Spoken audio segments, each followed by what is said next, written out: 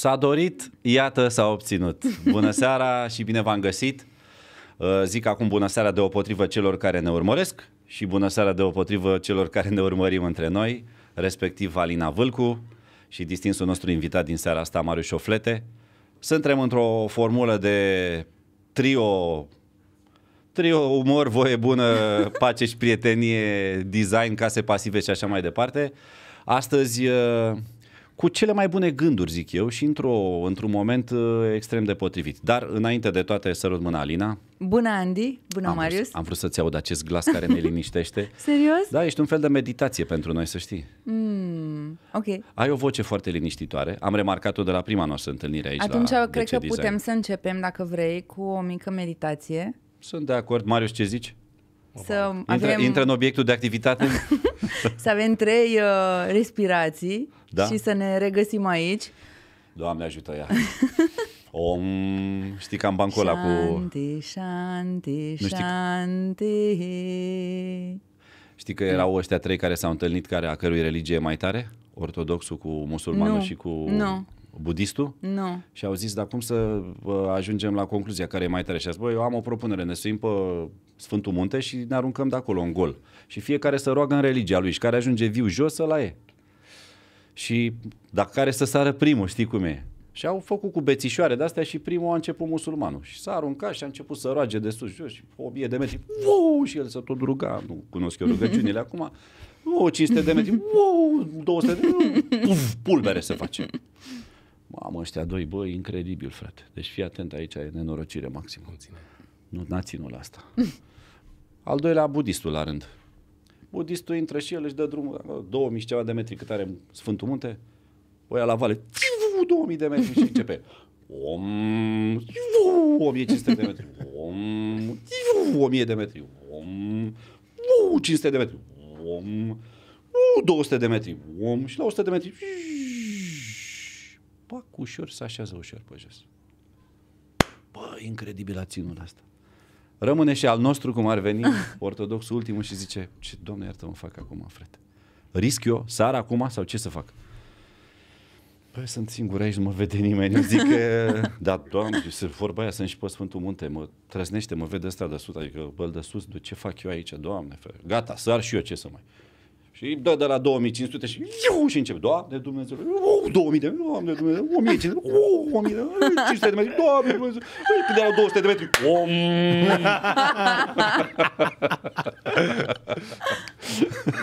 Cam așa. Deci, bine ați venit la ora noastră de meditație. Uh, În realitate, suntem la un nou episod de ce design. Uh, Este o serie de podcasturi pe care ne-am propus să le facem aici la masa asta, alternativ odată cu Omid, odată cu Alina, de fiecare dată cu cât un invitat, cu dichis ales, adică nu e niciun fel de întâmplare prezența invitatului în studio, ca și de altfel prezența celui de-al doilea invitat care este via livestream uh, de la fața locului, în cazul de față o domnișoară foarte drăguță, designer și ea de la Cluj, Simina, o să o cunoașteți la momentul potrivit. Astăzi uh, suntem într-o, hai să zicem așa, plină criza resurselor, când, uh, mă rog, am tot ce e pe planeta asta, petrol, gaze, curent și așa mai departe, toate se scumpesc și cred că e momentul cel mai potrivit să vorbim de case care combină consumul ăsta mic de energie cu termoizolarea, deci ceea ce se cheamă case pasive, adică, mă rog, niște case în care poți să trăiești foarte bine cheltuind foarte puțin.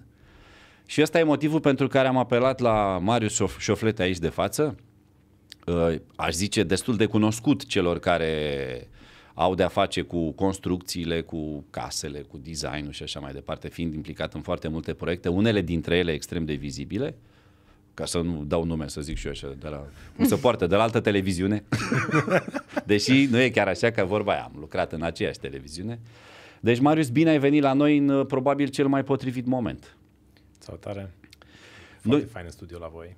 Îți mulțumesc, ești foarte drăguț. Am mai spus-o, meritul nu e nici de cum al meu, adică nu vreau să-și închipuie lumea că aș fi vreun ceva set designer sau... uh, Nu, am apelat la profesioniști, ăsta este secretul ca să ți-o spun pe aia dreaptă. Uh, Singura operă pe care o recunosc ca fiind a mea este acel colț din uh, spatele Alinei care se vede atunci când este un... uh, ia, la- Dă-ne un prim plan frumos, uite. Deci această construcție care se vede în spatele Alinei cu acest tablou pe care l-am primit cadou de la Omid, am făcut această operă de artă uh, realizată în cam 27 de secunde mi-a luat până am hotărât ce să pun acolo ca să pot să, am, să sparg un pic uh, lemnul ăla din spate. În rest, cam tot ce vezi aici e mâna. Fix un tablou foarte bun de pus pe șantier la intrare. Nu ți se pare? e fix ce trebuie, Cinci da. bani, vă rog, cinci Ăla e, tata. E Ce, tot ce ce bine că te uiți tu la el și nu mă uit eu. Da. Uh, m-a ajuns puțin să-l prezentăm uh, publicului pe Marius? Sigur, celor care nu-l cunosc deja. Și eu le mulțumesc cu ocazia asta celor care ne salută și sunt împreună cu noi în seara asta. Oh, avem ceva ochi pe noi deja. Deci, uite, un 400 de 400 ori 2, 800 de ochi sunt deja cu pe noi și Oh la mesajele la. de rigoare le mulțumim frumos și ne bucurăm foarte tare că nu vorbim doar de capul nostru, ca să zic așa. Uh, să-l prezint pe Marius, nu? Da, da, da, da. Aș spune, de fapt, cum l-am cunoscut eu pe Marius. Uh, L-am cunoscut în calitate de profesor, uh, pentru că um, anul trecut uh, m-am decis uh, cumva așa dintr-o curiozitate oarecum să fac un curs de case pasive organizat de um, Ordinul Arhitecților în, um, mă rog, colaborare cu Marius. Da? Și uh, ne El știm... fiind inginer. O să vă spune el de fapt ce este. Aș spune că inginer e prea limitativ, deși inginerii se dau creativ, dar nu sunt așa creativi, dar Marius e un personaj destul de renascentist așa. Și uh, eu am nimerit la cursul de case pasive, zic am nimerit nu întâmplător pentru că nu știam în ce mă bag, pentru mine nu, nu știam ce înseamnă de, de fapt casă pasivă și în mintea mea se uh, amestecau noțiunile astea de pasiv, ecologic, sustenabil, verde, care cumva se intersectează, dar nu sunt același lucru. Aha. Eu sunt mulțimi diferite ca să mulțimi diferite. venim pe Da, aeroportul da, nostru. Da. Și sunt... Uh, uh, eu, dacă aș spune că sunt pasionată, poate nu e cuvântul potrivit, dar sunt preocupată mai degrabă de starea în care ne ducem noi viața cu, pe, pe planetă și încerc să fac nu, tot ce pot pentru a uh, atât eu cât și cei din jurul meu să, să, mă rog, ducem un stil de viață, să facem alegeri prietenoase, ecologice și așa mai departe. Și atunci, la momentul ăla mi s-a părut că cursul de case pasive ar putea fi un loc în care aș putea să mai mai multe informații, dar ok, și după aia, iată că am nimerit la un curs profund tehnic, dacă îmi zic tehnic, tehnic, tehnic, cu noțiuni de fizica construcțiilor, de termotehnică și eu uh, care... Stai că te bagă și o flete, acum ai vedea să vadă, te ascultă să vadă. Da, nu, Uh, nu. Hai să-l dau puțin mai tare pe el, că Curs, văd că- curs, adică curs ca la școală și Se spunea din titlu curs intensiv de case intensiv, pasive. da. 10 zile crash course. Intensiv. Nu e 10 zile, multe zile. și uh, cred că dacă nu era Marius care m, acum o să ve- vezi și tu ce, ce frumos vorbește și uh, cumva cum reușește el să vorbească despre sistemul de ventilare cu recuperare de căldură ca și cum ar fi... Uh, Ce, vorbește ca despre o femeie, practic, Da, nu? Când vorbește da, de da, sistemul te ăsta. Adică zici că captivează. vorbește despre dragoste. zic, hei, da, și a- așa l-am Mângâi cunoscut. sistemele astea ușor, așa, cu vorbele tale, Marius, fii Să sincer. vezi dacă suflă cum trebuie. Păi cum n-ai, bă? un pic așa îi dai, bineînțeles, pășești, mai atingi cu mâna ușor, un picior pe sub plapumă. Hai că ne aducem aminte din... Da, dar să știi că, uite, una din preconcepțiile pe care le-am avut și um, cu asta îl las de- apoi pe Marius să vorbească, um, pentru mine o casă care te face fericit și o casă în care trăiești sănătos, ai o stare de bine, e spațiul ăla în care ești foarte conectat cu natura. Și uh, când el ne-a vorbit despre sistemul de ventilare cu recuperare de căldură, care presupune că, practic, aerul proaspăt îți este introdus printr-un sistem mecanizat și nu prin deschiderea aerului. Permanent. îmi- Na, ok, mintea mea s-a... Adică cum să nu deschid eu fereastra la mine în casă și să stau așa într-un mediu artificial? Nu.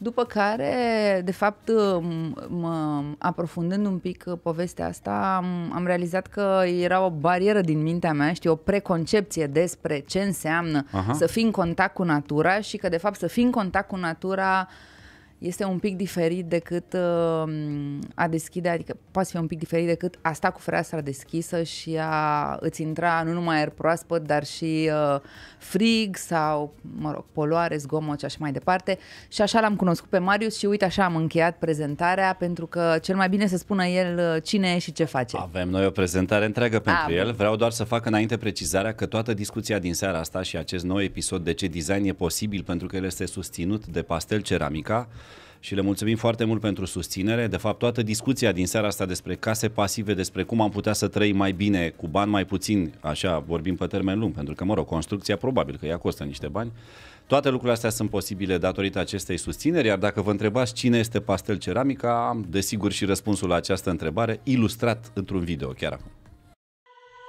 Casa ta îți seamănă, te reprezintă, iar personalitatea ta se reflectă în ea.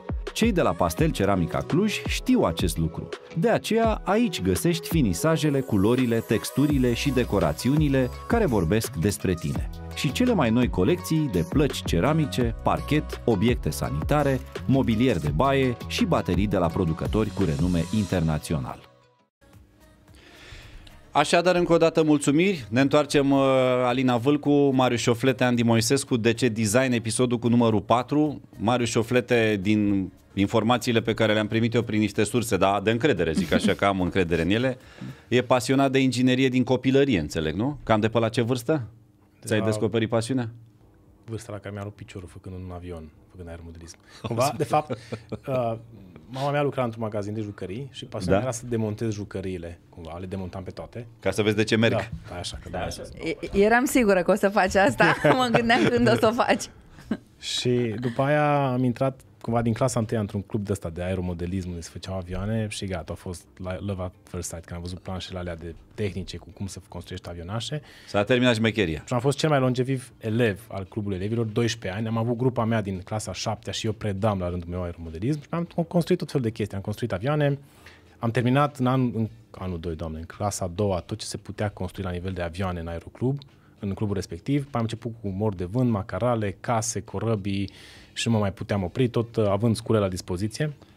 Meșteream și tot construiam chestii. Și am construit până să dau la facultate 22 de machete de case. Prima mea experiență de asta, de asta se desfăceau, bucată cu bucată, uh, cu ferestre care se deschideau, se închideau. Așa. Și am și vândut câteva dintre ele în liceu la turiști. Adică am făcut și bișniță cu case. Afaceri, mă, nu bișniță. Antreprenoriat. Da. Dar uh, cumva vreau să merg spre aviație, spre proiectare de avioane, dar primul avion pe care l-am proiectat, am picat cu el și mi-a rupt un picior. N-am, nu l-am zburat, efectiv. Era o chestie foarte mare care trebuia înălțată, nu eu agățat de el, ci el după mine. Și atunci am rămas pe case și am ajuns la inginerie. Uh, vorbeam de proiectele lui Marius Șoflete și unul dintre proiectele foarte populare a lui este o casă traforată, da? Uh, la oarecare din ele. Băi, aveam un video aici, uite. A, asta, oh! Man, ați găsit poza asta. wow! A, asta e prima mea casă făcută. Vezi? Vezi? Wow, prima wow. casă nu se uită niciodată. De fapt, ăsta e programul Man. Prima Casă. Andy, nu știu ce să zic acum. da, prima casă și... pentru fiecare. Și ultima poză cu părul scurt. da. Aia. Păi după aia gata, asta. Bine, atunci în ce clasă erai? A șaptea. Nu cred că te lăsau la școală nu cu mă plete așa mari. Nu. De asta... Probabil. Asta a fost o casă wow. cu luminițe la interior, cu perdeluțe, cu... Și asta e o casă care se desface pe fiecare etaj în parte și totul din lemn. Balamalele sunt din lemn, ferestrele sunt din lemn și se desface și te plimbi prin ea. Fii atent că au început să te citească oamenii. Uite, Emi Popa zice că ai emoții. Băi, am emoții. Culmea e că am emoții. Da, mă, da, e, pe de altă parte știu foarte bine oamenii că ești meseriaș, adică ce să mai Uh, sunt și foarte multe mesaje, o să încercăm să ne ținem puțin de poveștile noastre pentru că vă asigur că sunt foarte interesante, nu o să batem câmpi, o să vorbim despre lucruri concrete și corecte astăzi. I-am făcut și noi o prezentare lui Marius Șoflete, am încercat așa să punem uh, concis câteva vorbe despre el într-un video. Și ca să lămurim odată cine este Marius Șoflete și de ce, cred că e momentul să vedem chiar acum. Plec de la premisa că există încă maximum 3 consumatori de arhitectură și design interior din România care n-au intrat niciodată pe canalul lui de YouTube. Așa că vă zic repejor cine este Marius Șoflete. E inginer constructor și proiectant specializat de case pasive. e cofondatorul biroului de proiectare Inginerie Creativă. De câte ori e nevoie, este și dulgher. Asta pentru că pur și simplu iubește lemnul. Și spre deosebire de toți amatorii care s-au perindat în ultimii 32 de ani pe la Ministerul Mediului, știe exact ce să facă cu el. Pe de altă parte, Marius Șoflete și-a făcut un obicei din a fi interesat de sustenabilitate și soluții integrate. A început în 2012, odată cu așa numita PRISPA, prima echipă de studenți din România care a participat la concursul internațional de arhitectură și tehnologii solare pentru case, Solar Decathlon Europe 2012. De aici încolo, Marius Șoflete a început să experimenteze cu materiale neconvenționale și ecologice, cum s-a întâmplat în proiecte celebre în branșă, precum Casa din Balos de Paie de la Dorohoi. Dacă mă întrebați pe mine, care nu sunt de meserie, mă bucur mult să aflu că printre proiectele recente ale lui Marius Șoflete se numără o casă pasivă din Bragadiru, județul Ilfov, care are cel mai bun coeficient de etanșeitate la aer din Europa de Est. A, și ca să apelez la o informație care îmi sună deja familiar. Marius Șoflete a lucrat și la Casa Buhnici, despre care am aflat că este prima casă pasivă premium din România și printre primele 10 de acest fel din lume. În fine, ca să-l readuc definitiv pe strada mea, menționez că din 2017 Marius Șoflete e și vlogger. Are un canal în care vorbește despre case. În detaliu, despre izolații, ventilații, scule sau, mie mi-a plăcut mult titlul ăsta, cum se face corect îmbinarea dintre căprior și cosoroabă. Recomand. Măcar acum știu pe cine să chem în caz că am o problemă cu șarpanta.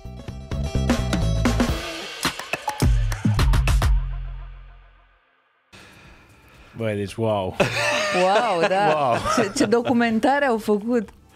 Avem o echipă totuși aici, adică Chiar nici v-ați aici nu uitat la vreau să-mi arog, videouri. de aici nu vreau să-mi arog merite nici aici, nu, Wow, am o wow, echipă wow. în spate, evident, vă dați seama. Eu sunt ăsta, vedeți că mâinile nu, apă, nu apăs pe nimic și se întâmplă minuni în timpul ăsta în care nu fac nimic. De fapt, ăsta e secretul în viață. L-am descoperit și eu foarte târziu după ce am tras ca fraierul singur la căruță de multe ori, deși oamenii erau dispuși să mă ajute, dar eu dă-te mă că știu eu, lăsați-vă pe mine.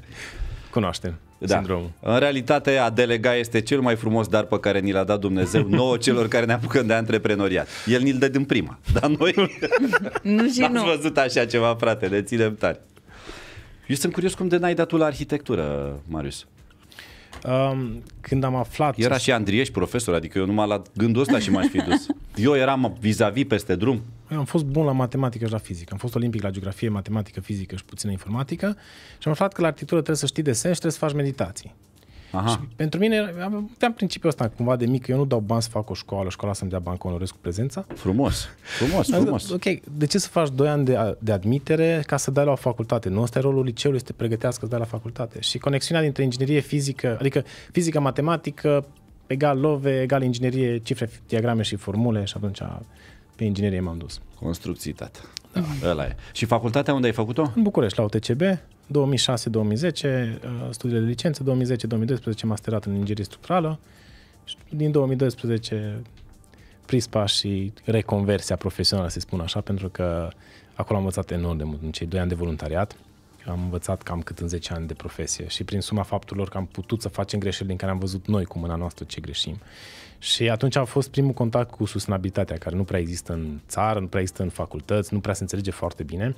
Și ăla era un concurs, un fel de Formula 1 între case. Aha. Toți studenții din întreaga lume care participă la această competiție pe baza unei calificări trebuie să proiecteze o casă care să uh, fie asamblabilă în 10 zile, să funcționeze exclusiv cu energie solară și să răspundă la 10 probe. Arhitectură, structură, in, instalații, eficiență energetică, confort, inovație, viabilitate pe piață, marketing, comunicare și industrializare. Și tu ești punctat în această... și, uh, Construiești casele astea, le pui într-un sit, toată lumea își aduce casele în acel sit. În uh, 2012, când am fost noi la Madrid, erau 20 de situri în care veneau echipe din întreaga lume. Noi eram România, dar eram Ungaria, Franța, Germania, Italia, Spania, uh, Marea Britanie, Japonia, China, Brazilia. Și toți au o serie de 120 de reguli și cu casele acolo ca la Formula 1, vrum, vrum, vrum, pline casele de senzori, măsurate, conectate, evaluate și așa mai departe. Și acolo a fost amazing că am putut vedea pentru prima oară chestia asta ca la mașină cu pedala. Apeși pedala, vezi consumul, vezi viteza, vezi turația, vezi nu știu ce. N-am vezi chestia asta la casă.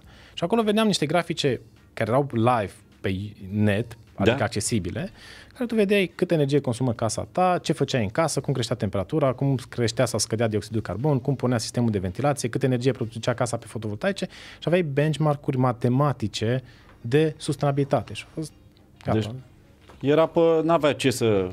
Da. Era jurizare de aia, ca la matematică. Albă sau neagră. Pe, și aveai scoruri, aveai în fiecare zi scoruri între case, fix clasamente ca la Formula 1, pentru că proba era de 10 zile, Decathlonul venea de la 10 probe 10 zile, Aha. Aha. 10 zile de construcție, 10 zile de concurs, 10 probe și tu vedeai în fiecare zi și luai măsuri, începeai să iei măsuri, zici, bă, ok, cum mai eficientizez consumul? Ce mai fac? Pentru că tu aveai A, puteai să umbli la parametri. Da. Era fix, mă, ca la Formula 1. umblai la parametri în sensul în care porneai mai repede sistemul de ventilație sau te învăța cumva să, găsi, să faci casa responsive, să răspundă cum vrei tu, pentru că tu aveai niște, niște targeturi. Și noi atunci produceam energie, care o injectam în rețea în Madrid și vedeam toată chestia asta de senzoristică cu corelație, adică faptul că deschid fereastra îmi scade dioxidul de carbon sau pornesc sistemul de ventilație care consumă, dar îmi scade dioxidul de carbon, gătesc, consumă energie, îmi crește căldura în casă, trebuie să dau mai jos centrala termică, că îmi ajunge acea căldură și chestii de genul ăsta care sunt de fapt multidisciplinare. Te-ai aruncat în Dex, nu? Nu mă știu unde m-a aruncat, m-a aruncat într-un, uh, cum să zic, într-o rază de soare impecabilă. Adică îmi dau seama că totuși în România se face și școală cu cap și cu folos. Pe aici, pe acolo. Adică dacă oamenii ăștia ajung să facă așa ceva, să ducă la un concurs, să badă la egal, la egal cu alții și chiar îi dovedesc, România participă acum a cincea oară la acest concurs. Este a cincea, României care, a cincea echipa României care merge la a, Și eu știu, mă, că e facultatea asta de construcții și facultatea de instalații, care ține tot de construcții, da? Da, și arhitectură. Că, practic, noi în concursul ăsta eram studenți de arhitectură, uh, stru- instructuri, construcție unde a fost eu, instalații, dar și politehnică, SNSPA, uh, geografie, design, adică erau mai multe facultăți adunate cu mai mulți studenți și trebuia să facă împreună o Da, casă. mă, să fac treburi acolo tare de tot, îți zic. Da. Și cu, cu casa asta... Și cu au și o care- profesoră de matematică tare la instalație, am zis lui. Eu a fost o colegă de-a mea de facultate, dar nu că a fost colega mea de facultate, nu, e chiar foarte tare. Ștefania Constantinescu, cine are noroc să o aibă profesor? Știu, am auzit de ea, n-am interacționat. Da, cred că predă și la Sfântul Sava. Cine sunt norocoși pe acolo să o aibă la clasă. Da, e tare de tot, da. Mi se pare, cum să zic, e wow în sensul cel mai bun al cuvântului. Așa e, și mie mi se pare, și mi se pare bună ocazia că auzi despre auzi despre aceste lucruri întâmplându-se. Da, da, da, da, absolut. Absolut. Uh, a- di- ăla a fost momentul în care ai început să devii pasionat de zona asta de case pasive? De sustenabilitate. Adică mi-am dat seama că, de exemplu, în proba mea de inginerie, pe Da. acel concurs, eu nu eram punctat de cât de mare e grinda, cât de tare e stâlpul. Ci din cum, gândind grinda, stâlpul, whatever, aveam grijă ca în arhitectură să nu stric partea de concept sau în amenajare de interior să nu-i bulesc designul, Da. în eficiență energetică să nu-i bag punți termice, să strig lui consumurile, în sustenabilitate să nu polesc foarte mult cu materialul respectiv. Și eu, de fapt, eu primeam nota mea pe inginerie ca medie din alte mu- discipline. Bă, înveți și să lucrezi în echipă, că asta e mișto. Da. Adică dincolo de faptul că tu înveți o meserie care e cu adevărat necesară în viața Da. unui om. Dar e mișto că înveți și în echipă, adică nu-l faultezi nici pe ăla de lângă. Îi susții Asta pe e, și toți. asta, asta e nevoie pentru că nu a ținut neapărat pasul sistemul de învățământ cu interconectarea specialităților. Că acum, să zic și eu cum am cunoscut-o pe Alina, că Ia. intrând în acel curs, Mm. a venit foarte așa în forță, foarte, bă, dar ce casele astea pasive, că ne chine ca într-o pungă, că ne deconectăm de natură, dar tu ești nu știu ce, că- și a fost foarte energică și am zis, opa, asta e un pic. Hai, avem un caz aici. Da. We have a case here. Era așa foarte vocală. Om, om. Ok, hai să tratăm sustenabilitatea în cifre, uite, ma- matematic.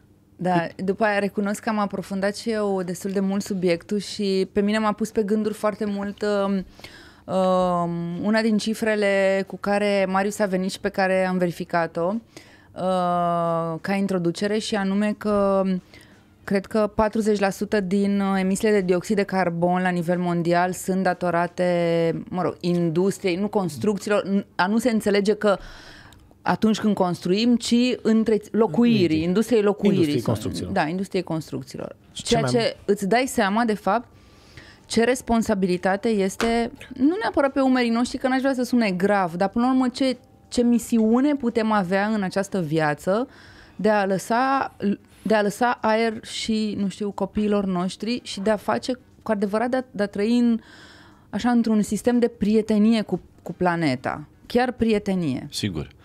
La mine e prima oară când se vorbește de case pasive la masa asta, ca să ne înțelegem. Întrebarea mea este, a început să se vorbească mai des? Simți că a început să vorbească lumea de ele? E cerere mai mare pe zona asta de case pasive? Au început oamenii să intereseze măcar? Da. Au început, ha? Da, adică Deci eu, eu... sunt eu sunt la bătrân, am înțeles la masă, gata, m-am prins, e clar. a fost foarte timid uh, abordarea, dar uite, ultimele trei luni chiar au erupt, adică toată nevoia asta de deconectare de gaz, pentru că fundamental o casă pasivă ce e? O casă leneșă, nu consumă deloc, aproape deloc energie să se mențină confortabilă.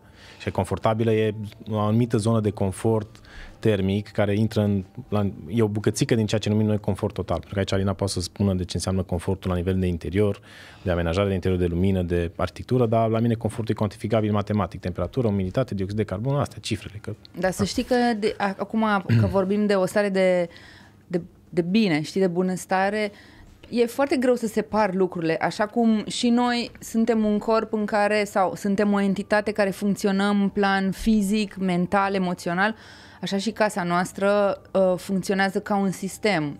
E Confortul casa- termic, umiditatea, lumina, uh, adică ingineria, arhitectura, designul, felul unde ți arunci privirea, toate de fapt contribuie la această stare de bine pe care o căutăm, nu? Am auzit ceva asta. A, E un tunet de afară sau ce a fost? A început să plouă sau care e treaba? Nu se știe exact. Ori a căzut cineva pe jos. Avem o pisică pe la parter și mai cade, obișnuiește. Da, îi place băutura. În fine. Glumesc, bă, nu, mă, să mai împiedică cineva. Da, ce să facem acum, îți dai seama, da. Uh, Spunem, confortul are de suferit într-o casă din asta pasivă? are de suferit în sensul bun, în sensul care Ah. îl poți garanta. Dacă astăzi, aici, nu știu, sau în orice casă te muți, cum poți să zici, ok, casa mea e confortabilă? Când te urci într-o mașină, ceri producătorului niște benchmark-uri de siguranță. Da. Are niște teste de impact, îți zice Corect. rezistă la X, Y, Corect, așa. corect, corect. Ai niște benchmark-uri de consum. A, cumperi mașina pentru că consumă X%, Y%, whatever. Și apropo de poluare, să știi că nu dieselul, nu faptul că mergem cu mașini diesel sau că zburăm cu avioanele poluează cel mai mult, ci pur și simplu faptul că ne locuim casă și ne încălzim.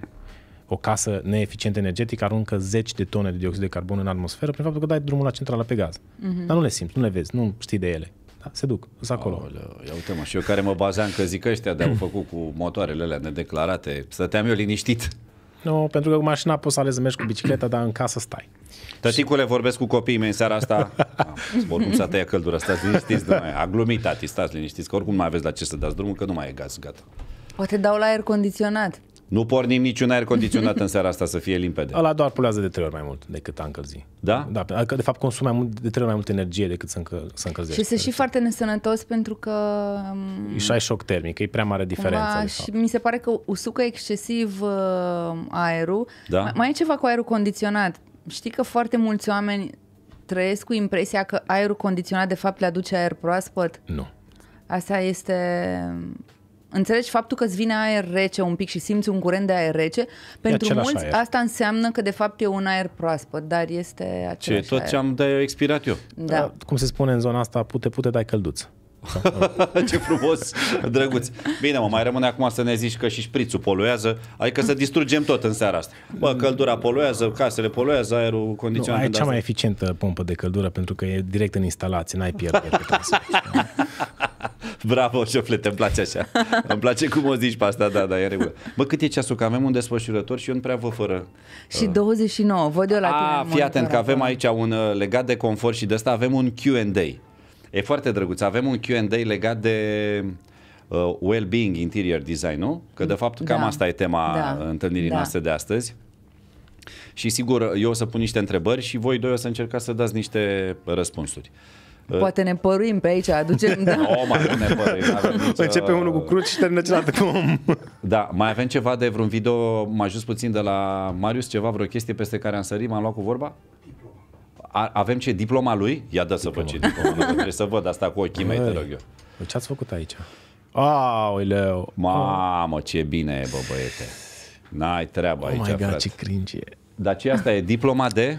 E diploma mea de licență din facultate, Da? pentru că am fost uh, oarecum contestat cum îți faci ca inginer într-o facultate de structuri, îți faci o lucrare pe o casă din lemn.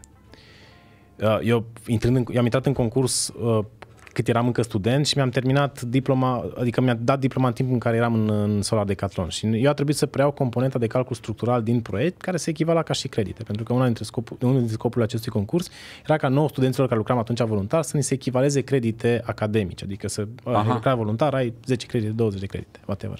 Și am făcut uh, lucrarea de, li- de diplomă de licențiere în inginerie pe calculul structural pe această casă de concurs, Casa Prispa. așa se numește, Casa Prispa, proiectul Prispa. Uh-huh.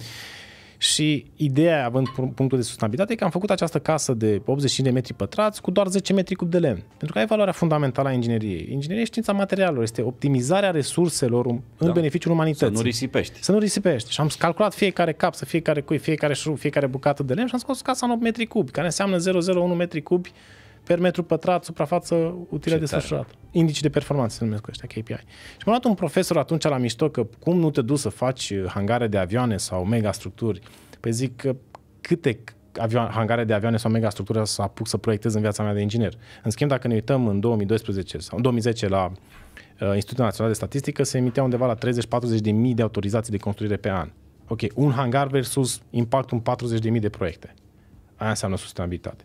Și atunci, într-un fel de protest, mi-am făcut uh, coperta de la diplomă, pentru că am lucrat în studențier în atelier de machete, din lemn și am printat logo-ul Prispa și am legat-o frumos cu, hârt- cu uh, sfoară pe hârtie reciclată și așa m-am dus să-mi dau diploma. Să-mi dau, uh, uh, aia era diploma, îmi cer scuze, era diploma de master, de calcul de inginerie de structural, master, de master, nu de licență, care la licență a fost mai simplă, dar asta a fost mai complicată. Și când m-am luat la întrebări, bun, ce cu casa asta, ne-am venit și cu indici de sustenabilitate și de impact și de toate cele și am luat 10 cu o căsuță. Pentru că meriți. De aici a apărut slogan. Scuză-mă că întreb, dar asta cu câul, după aia următorul video ăsta ce e? Nu, că tot șoflete scrie la el. Zic și eu, azi, e, e bine, da? Putem să, nu, nu ne, nu dea, nu, adică nu mă ard singur la salariu după aia, dacă... la nivelul ăsta zic, da. Uh, scria cineva mai devreme că Marius auzea încet. Eu am remediat acest aspect. Sper că... Ca un inginer, aude. ce te afli? Să știi că pe undeva în sângele meu cred că e și ceva, sunt și ceva globule de inginer, pentru că, mă rog, noi băieții cam în frage de copilărie inginer visăm să devenim, Meșterești, dacă ești să fim sinceri până la da. capăt. Dacă meșterim. Am da. făcut și eu cabluri electronice, mă rog, eu m-am dus în zona asta că mama n-a avut cu cine să mă lase acasă când era mai mic și m-a luat cu ea la serviciu și cum lucra la întreprinderea Connect din București, încă mai există, dar acum e un spațiu de birouri, se făceau conectoare acolo, cabluri. Ea săraca ah. lucra la secția de galvanizare, nu nu aveam nicio bucurie acolo, că erau toate chimicalele posibile. Dar la băieți sus la electronică, Electronică. mamă, ce frumos era! Am înțeles, deci tu ai cablat pe aici. Și tu ai cablat pe aici. uh, bă, mi-am băgat nasul cam în tot, că e, e firea noastră. Eu cred că e un inginer mic în fiecare dintre noi, de fapt. Da. Deci ziceți că suntem gata pentru Q&A-ul ăsta? Că eu cred că, mă rog, întrebările se regăsesc pe buzele tuturor. Și atunci zic așa, suntem mai fericiți dacă ne simțim mai confortabil? Sau suntem mai fericiți dacă, așa cum sugera Alain de Botton, ne înconjurăm de lucruri frumoase? Ce zice Alina? Zic eu. Zi tu prima. Um, acum, dacă suntem mai fericiți dacă ne înconjurăm de lucruri frumoase, intervine această întrebare retorică, fundamentală, existențială, ce este frumosul? Și, uh, și începem un podcast nou. Nu, Am nu, înțeles. Hai să mutăm Dar, pe aici. Uh, po- pot să dau răspunsul chiar cu um, citatul despre care vorbește și Alain de Botton în cartea lui și anume a lui Stendhal, cred că îi aparține citatul, nu? Uh-huh. Că frumusețea stă în ochii privitorului. Așa e. Cumva deci nu. suntem mai fericiți dacă ne no. simțim mai confortabil? No. Da, cumva are legătură cu faptul că cred că confortul și sentimentul ăla pe care îl ai de acasă, lăsând la o parte proprietățile fizice ale spațiului, are legătură cu faptul că spațiul respectiv îți aduce aminte de lucrurile pe care tu ca om le valorizezi. Că sunt ele moralitatea, prietenia, extravaganța, spiritul de aventură, curiozitatea, toate aceste lucruri pot fi exprimate de un spațiu. Așa cum un tablou exprimă ceva, o, o valoare, o emoție, așa și spațiul poate să exprime aceste, una din aceste lucruri pe care noi fiecare valorizează altceva. Și atunci tu când ești într-un spațiu care exprimă ceea ce tu valorizezi, uh-huh. lucrul ăla te face să mai te fericit. simți mai fericit. Marius. Acum Marius o să ne spună despre confort, cred. Andy, dacă ți frig la degete când tastezi da. sau la picioare, da. sau dacă transpiri și curg apele pe tine de nu mai poți când montezi, da. sau dacă stai în studio și ai atacuri de anxietate când vezi factura la gaz că vine și tu ții termostatul da. la 16 grade, cât de fericit ești? Îți dai seama că nu mai e nevoie să mai fac niciun comentariu aici. Deci fericirea depinde foarte mult de starea noastră de confort pe care o avem într- într-o clădire. Și o parte din acest confort e cel pe care îl simțim și îl cuantificăm. Temperatura, care Da. corpul uman, această Așa e, mă, ființă da. evoluată superioară a planetei noastre, cum depășim 25 de grade, deja hiperventilăm de cald, cum scade sub 18 grade, urlăm că e frig. Deci avem o limită foarte îngustă Da, bă, exact, de fapt. de fapt. Și atunci ce faci? Dacă ți prea frig, dai drumul la centrală, lasă că rezolvă centrala și ați cu tonele de dioxid de carbon în atmosferă. Dacă e prea cald, pornești aerul condiționat, care papă curent, care tot din supică de dinozaur vine de cele mai multe ori, care tot în atmosferă. Supică de dinozaur? Așa. Uh, Și o fletă e aur, mă, n-ai treabă cu Deci, pe cuvântul meu, dacă aș face orice construcție cu el, că m-aș și distra. Înțelegi? Mi se pare genial, adică să și, să și lucrezi, să și râzi în același timp, ai doi în unul.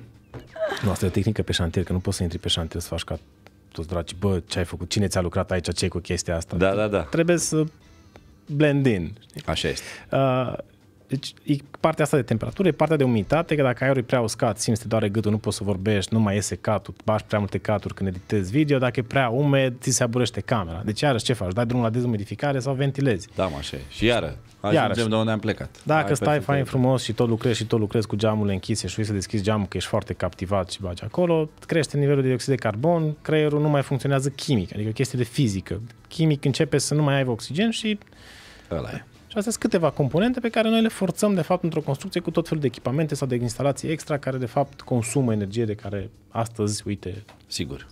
Ai pomenit uh, celebra expresie cine va lucrat aici. Vreau să anunț că începând din această duminică în Apropo TV și din, uh, de sâmbăta viitoare pe YouTube, sâmbătă asta îmi cer scuze, dar n-are băiatul când să mai monteze și pentru sâmbătă asta, mai ales că am făcut un podcast care necesită puțin uh, muncă cu un trio. Am avut aici o trupă întreagă în- în seta seară, deci uh, abia sâmbăta viitoare dimineață publicăm ceva proaspăt pe YouTube, dar începând de duminica asta și de sâmbăta viitoare pe YouTube, un nou sticker pe laptopul meu pe care scrie mare frumos cine va lucrat aici. pe care l-am primit de la Marius, desigur. Mai departe, s-au făcut studii care au demonstrat că ne face bine la cap să vedem lemn în case. Mm. Întrebarea este s-a mai îmbunătățit relația noastră a românilor cu lemnul? Hai să spun eu aici, după aia o să spui tu pe partea de... Eu um, um, am, am citit în ultimii ani câteva cărți despre ceea ce se cheamă environmental psychology, adică psihologia spațiilor care ne înconjoară. Și um, lemnul, în special în ceea ce privește pardoseala de lemn, este elementul care ne trimite cel mai direct la în natură și conectarea cu natura este lucrul fie că îl conștientizăm, fie că nu, este lucrul după care majoritatea dintre noi tânjim ca să ne simțim fericiți. Este dincolo de îmi place sau nu îmi place să mă duc în pădure sau vreau să mă duc la club în loc să mă duc în pădure, totuși în interior ai nevoie de, de această conectare cu natura. Și uh, studiile recomandă uh, ca într-o proporție de minim, să spunem 50-60% suprafețele vizibile și cele pe care le poți atinge dintr-un interior să fie acoperite cu lemn, Doamne ajută! iar parchetul sau pardosele, dușumele de lemn sunt, uh, sunt numite din punct de vedere al uh, psihologiei de design acest power drug. Adică faptul că mergi desculți la tine în casă pe pardoseală de lemn are darul de, a te, de a-ți induce o stare de bine instantă. Acum, o casă pasivă poate fi făcută din orice fel de materiale, pentru care are la bază cinci principii. Termoizolarea corectă a întregii case, inclusiv la fundații care Da. scapă. Uh, niște detalii constructive cinstite, că se numesc punți termice, să nu ai de fapt punți termice, pentru că și tu îți petreci cămașa cu pantaloni, că dacă te duce la schi, că te duci la schi. Da? Așa, mi-era dor de exemplu de la schi, deci la curs. Nu, Deci când te duci la schi, ce faci? Primul lucru te îmbraci bine. Îți iei un Așa e, pantalon da. gros, o haină groasă, bocanci gros. Nu ți-ai șlapi la schi. Îți iei și la Da, pentru da, după. după. Deci ai termoizolat bine. Apoi petreci cele două haine. Degeaba ai cea mai performantă, cea mai bună, cea mai scumpă geacă de schi dacă ți e un, mai scurtă cu un centimetru la Îți, brâu. mai, Ți-e îți frig. iei și un Jäger. A, ăla nu se pune. Ăla nu scuze. se pune. Așa e. Uh, și mă rog, e cel de etanșeitate la aer în care n-ai găuri în geaca ta, nu? Că doar tragi fermoarul, dacă Da. da. dat fermoarul nu mai nimic, salut încălzire. Uh, când ți foarte frig, totuși te, pu- te pui un pic la, la soare, adică te folosești de soare să te încălzești Și al cincelea principiu specific aselor pasive e folosirea sistemului de ventilație cu care a rămas uh, Alina în minte, cel în care îți aduce aerul proaspăt în casă și stoarce căldura din aerul pe care l-ai dat afară și recuperezi cam 80% din energie. Adică tu în loc să deschizi geamul să-ți intri la minus 20 de grade, ți intri la 16 grade și nu trebuie să faci nimic. Tare mult. Mm-hmm. Da, și atunci, cu principiul asta, tu poți construi din orice fel de material. Eu, în mod particular, construiesc mult cu lemn pentru că vine odată din afinitatea asta mea de machetare și de a, am lucrat cu mâna și înțeleg materialul altfel, dar vine din componenta de sustenabilitate pentru că este materialul cu cel mai redus impact asupra mediului. Când fabrici orice fel de material de construcție, tu ai un proces tehnologic care consumă energie și care iarăși aruncă în da. atmosferă niște, niște chestii. Adică, de exemplu, să fabrici un metru cub de beton, iei piatra de calcar, o spargi, o arzi, cu supică de dinozaur again, că chiar nu merge pe fotovoltaice, ca să atingi un 1400 ceva de grade, ca să se formeze acel lian și la fiecare metru cub de beton ai aruncat în, în atmosferă o tonă de dioxid de carbon. Puf. Bă, noi oamenii nu știm lucrurile nu știm. astea. Nu. Ah. Și prin urmare nici nu le conștientizăm. No. Nu, și este, este trist că aud, auzi în jur foarte multe concepte din astea care sunt din zona de greenwashing în care se spune da, mersul cu avionul sau um, produsul cu tare folosește surse vegane sau mai știu eu ce, când de fapt problemele fundamentale ale, ale omenirii, nu spun ale planetei, că suntem un sistem, da, da, planeta da, da, cu da, oamenii, da, da, da sunt, uh, sunt mai adânci un pic de atât și uh, na, multe nu ne, sunt la, nu ne sunt la îndemână, Clar. dar multe ne sunt.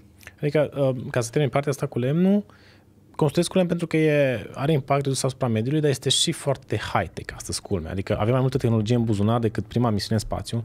Traseul pe lună a fost calculat de câțiva oameni la creion în timp live la, în, în căști și astăzi, de exemplu, cea mai rapidă tehnologie este cea cu folosirea acestor panouri de tip CLT, în care totul e computerizat, ai acolo Robocop, știi diferența între uh, cum se construiește în Austria?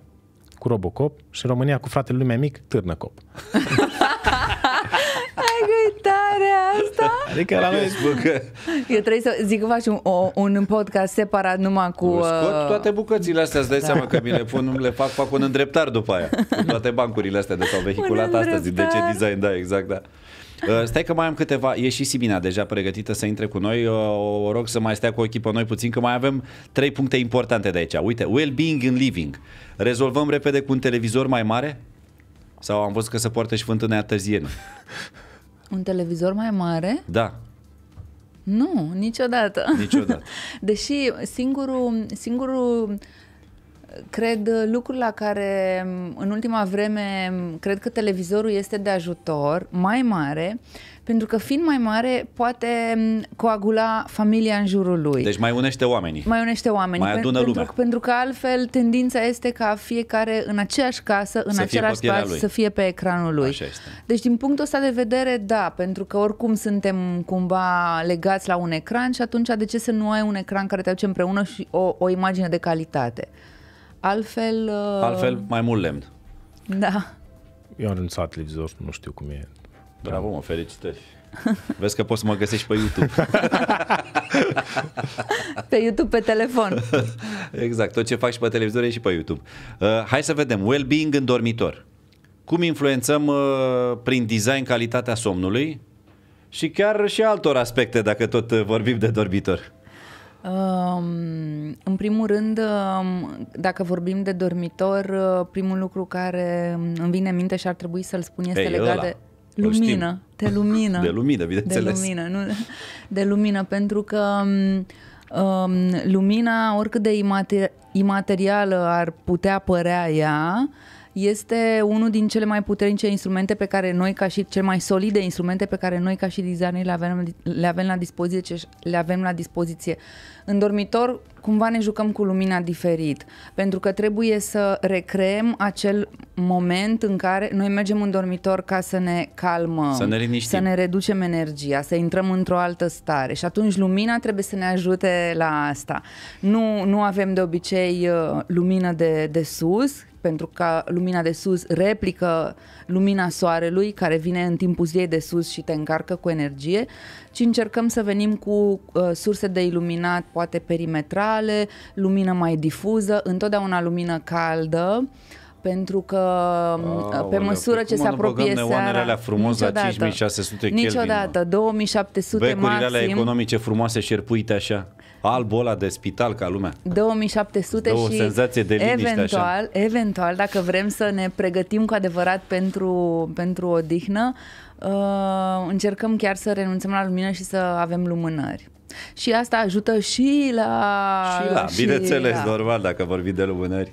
Și aș spune acum că să intru un pic pe teritoriul lui Marius, uh, are legătură cu temperatura. Dacă, chiar dacă în restul casei uh, optăm să avem o temperatură un pic mai ridicată, poate unii 24, că de, am trăit toată viața la 16, acum vrem 24, dar totuși în dormitor e recomandat să avem o temperatură de 19-20 de grade. Îți spun și de ce, pentru că atunci când dormi, când intri în starea de deep sleep și apoi de REM sleep, există un, o dinamică a temperaturii corpului și tem- temperatura corpului scade în mod natural. Și atunci noi, dacă t- um, stăm într-o temperatură scăzută, ajutăm corpul să intre în această Mai repede stare în starea de asta. Dacă îi odihnă dai 28 de profundă. grade, da.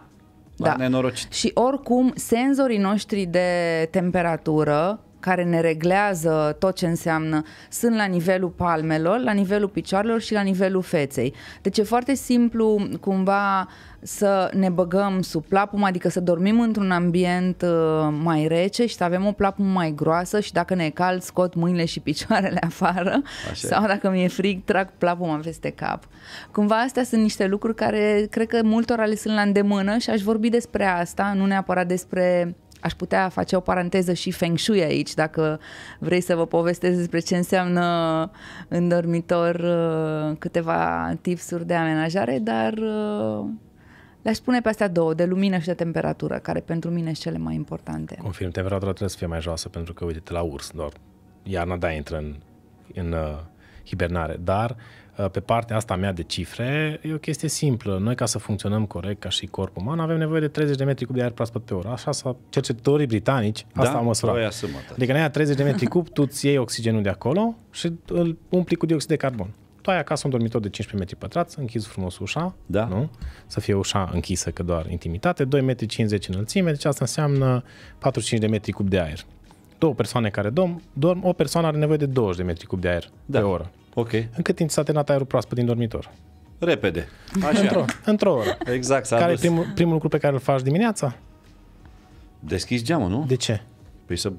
Să intre aerul, Aerul, pentru că creierul reptilian de la noi, ăla care Da. vânează sau fugi sau așa, Simte că e în neregulă. știe că e repul- impulsul ăsta de deschid geamul, mă salvez, de fapt, că primesc oxigen. Da, da, da. Și așa s-a format un, un obicei care, când zici la un om, băi, într-o casă pasivă, nu trebuie să deschizi geamul, pentru că ai un sistem de ventilație care permanent aspiră acel aer și îți aduce permanent aer proaspăt.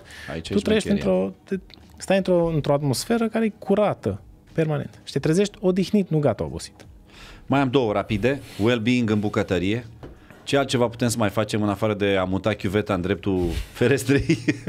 Asta știi că este, de fapt, cerința de design cea mai cerută de foarte mulți oameni atunci când vin să-și amenajeze locuința. Are vreo logică? Um, cred că are o logică în sensul în care mulți dintre noi realizăm cât este de important să avem conectare vizuală cu exteriorul, ca privirea noastră să se ducă în niște puncte focale uh, interesante și ample în exterior. Și de aia mulți oameni gândesc că petrec mult timp spălând vasele, deși probabil majoritatea au o mașină de spălat, dar a rămas încă chestia asta și își doresc ca chiuveta să fie în dreptul ferestrei, ca atunci când spală vase să privească pe fereastră. Deci are o logică. Să privește cerul. Privește cerul, da, e atât de simplu, dar atât de important.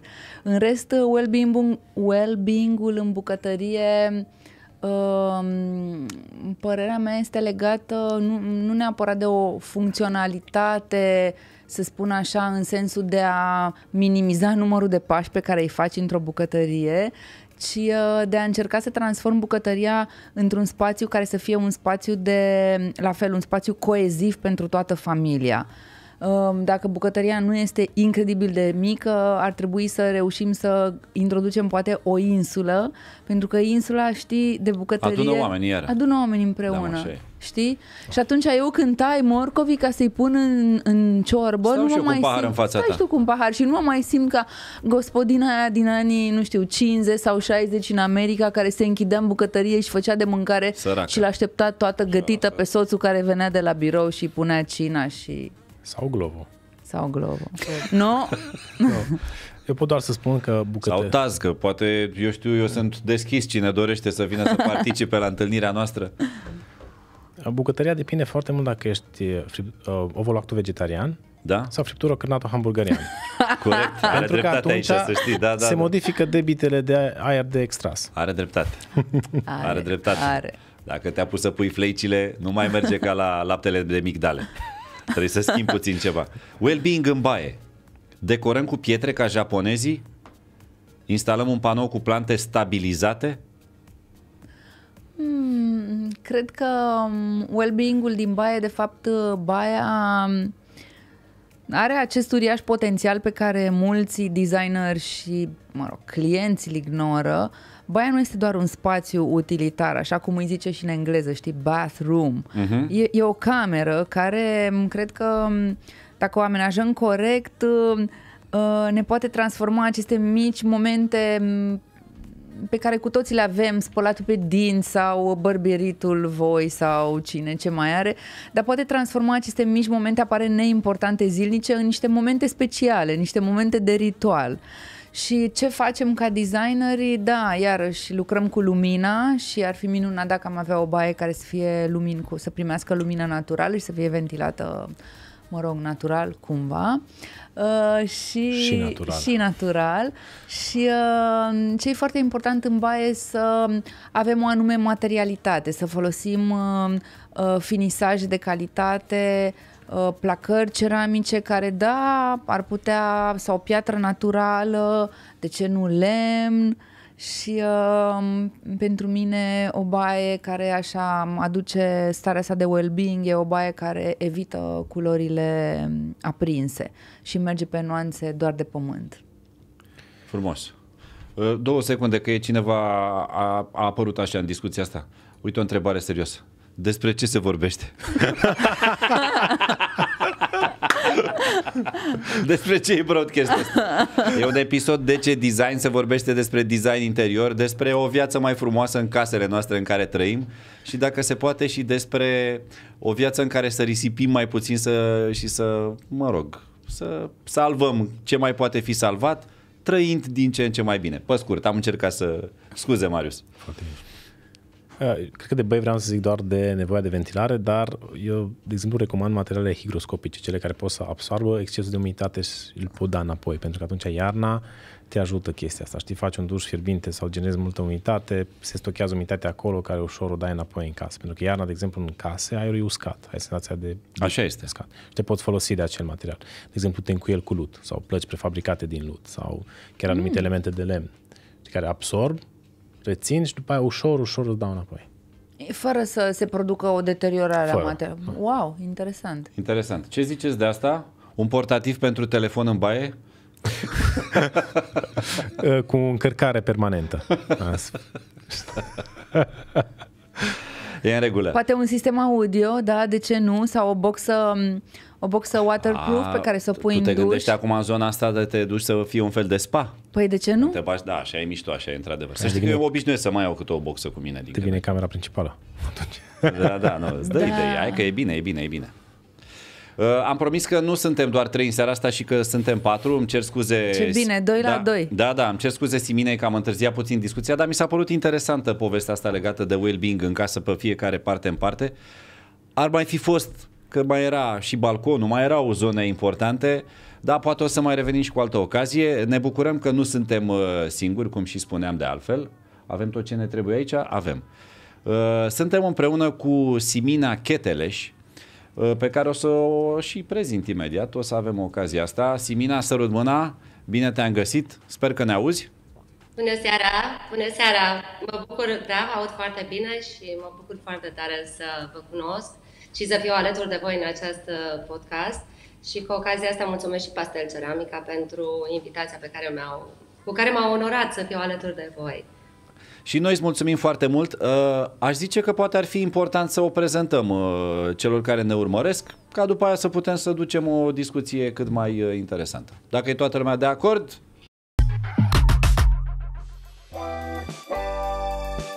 Dacă ești conservator, cum erau de pildă părinții noștri care ieșeau la pensie după 40 de ani de muncă în aceeași fabrică.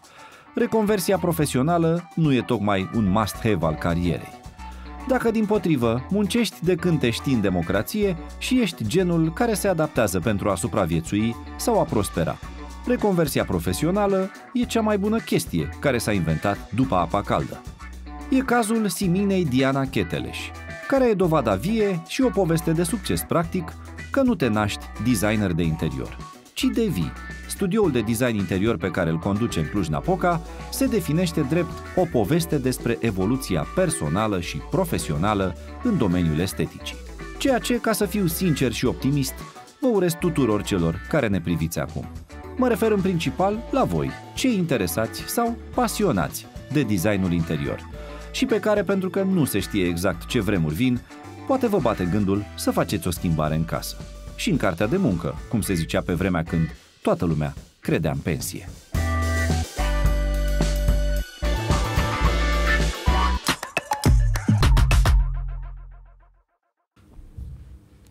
Simina, e bine ce am zis, sursele sunt informate? Da, sursele sunt foarte bine informate și voi sunteți foarte amabil cu așa o descriere. M-ați emoționat aproape auzind aceste cuvinte, uh, ca să zic așa, că mi s-au dus la suflet, ca la noi, la Ardeal. Da, mă bucur așa foarte este. tare. Uh, Simina își desfășoară activitatea în principal în Cluj, o zonă binecuvântată, zic eu, pentru zona asta de design, adică e un oraș care a explodat uh, din toate punctele de vedere în sensul cel mai bun al cuvântului, ca să nu vă ferește, nu vreau să fiu interpretat da. greșit. Dar uh, oamenii construiesc într-o veselie, refac casele. Prea veseli. Prea, prea veseli. Un pic Ce zici, da? Așa este. Știu că se lucrează acum la niște puzuri în Cluj și o să se transforme. Sperăm. Da, da. Da? Ia să vedem ce da. ne zice Simina de la fața este. locului. Te rugăm, Simina, ia zi. Cum e Așa pe la Cluj? Este. Clujul este, este foarte frumos. Eu iubesc acest oraș. Um, este într-o continuă dezvoltare și e o mare bucurie că noi avem foarte mult de lucru și asta este bine. Um, și partea asta de urbanism începe să arate tot mai bine, să fie tot mai bine organizată, strada, drumul, clădirile. Mie mi se pare că lucrurile merg spre bine și oamenii au început să investească în direcția asta. Uh, crezi că are legătură și cu faptul că acolo sunt festivalurile și au venit uh, foarte Tifu. mulți... Uh, da, mă gândesc. Tifu, da. Electric Castle, Antoldu. Sigur că sunt, da. Abia sunt foarte mulți turiști străini care, mă rog, da. sunt obișnuiți cu un alt standard, inclusiv din ceea ce privește designul interior din locuințe și mă gândesc că oamenii au simțit nevoia să nu? Step it up. Da. Așa este. Da? Da, așa este. Ne ajută foarte mult aceste evenimente și ca și, și pe partea financiară a orașului, dar și pentru noi, ca și oameni care activăm în domeniul esteticii. Um, se, cumva se dezvoltă într-o direcție bună aceste lucruri și acum că mi-am amintit, am avut um, la un moment dat două apartamente care se închiriau în Airbnb în da? acest oraș. Da, da, da. A fost, uh, a fost o experiență frumoasă pentru că așa, oarecum așa a început uh, povestea mea în acest domeniu al designului interior. Și um, um, au fost de foarte mare succes și a fost o bucurie să îmi dau seama că deschiderea este atât de mare spre domeniul nostru al esteticii și al designului de interior. Practic Poți așa să... am uh, prins drag. Da. Poți să ne spui ce îi face pe ardelen fericiți în casele lor? Confortul, accesoriile, luxul, cartierul, suntem chiar curioși. Pe fiecare altceva. Cam așa este în uh, domeniul nostru. Um, aș spune că un mix din toate acestea. Sunt oameni care aleg apartamentele sau imobilele pe care le achiziționează în funcție de cartier. Sunt uh, care aleg în funcție de lux, sunt, uh, deci avem toate aceste categorii din punctul meu de vedere. Eu cred că este important să fie îmbinate, să locuim într-un uh, într-o casă frumoasă, dar să fie și un cartier armonios în același timp. Să nu ieșim afară în stradă și să nu vedem ceea ce ne dorim. E foarte drăguț. Au, case pasive în Cluj sunt? De curiozitate, ce știi, Marius? Um, da, chiar prima, prima casă pasivă pe care am făcut-o certificată este în Cluj 2014. Ne-au luat-o în fața Ardele. Și noi acum lucrăm, lucrăm, proiectăm un ansamblu de patru case pasive premium, ce vor fi pe, chiar pe deal, pe cetățuie, orientate către oraș și sunt premium, se vor premium din toate punctele de vedere, inclusiv la nivel de finisaje și uh, design. Sunt case destul de mari, cu infinit tipul și tot felul de accesorii, dar viul de pe deal este incredibil, cum vezi tot orașul, tot, tot Clujul. Și, și noi în București ce facem? Și, Hai să ne adunăm și noi, Andy, câțiva prieteni. Facem în primul rând trebuie să facem un deal, Alina. Un deal, facem un deal. Avem, la, avem Dâmbovița. Mitropolia. Mă, un deal avem și noi, da, Mitropolia este. și mai e un deal mai mic și până Cotroceni, dar e ocupat complet, nu mai avem ce să facem acolo. Eu stau și mă gândesc facturile la gaz, la catedrală, cât or fi. Poate, stai mă puțin, de unde, de, de unde, de unde, poate, poate e pasivă catedrala, Marius. Poți tu să știi, poate regenerează tot. Și acolo nu trebuie încălzită, că de Dumnezeu, de sus. Căldura vine din interior. Păi și căldura vine din uh, interior, de la oameni. Așa că eu zic să nu ne facem griji. Deci, treaba la Cluj e bine din punctul ăsta de vedere. Oamenii au început, da. sunt mai atenți la ce își pun prin casă, nu știu, mă gândesc la decorațiuni, la ce apelează, ce fel de gresie, ce faianță, ce chiuvetă, ce... Sunt curios cât merg de da. departe da. din punctul ăsta de vedere.